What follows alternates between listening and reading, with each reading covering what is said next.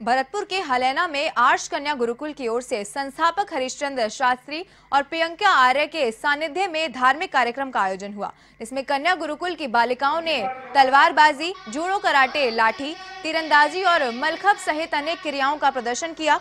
इस दौरान अजमेर निवासी भगवान दास ने बालिकाओं को आत्मरक्षा का प्रशिक्षण दिया। इसके बाद बालिकाओं को सम्मानित भी किया गया।